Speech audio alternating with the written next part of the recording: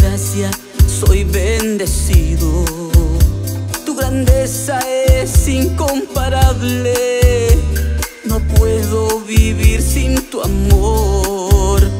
Por eso siempre busco tu presencia, porque confío y creo en ti.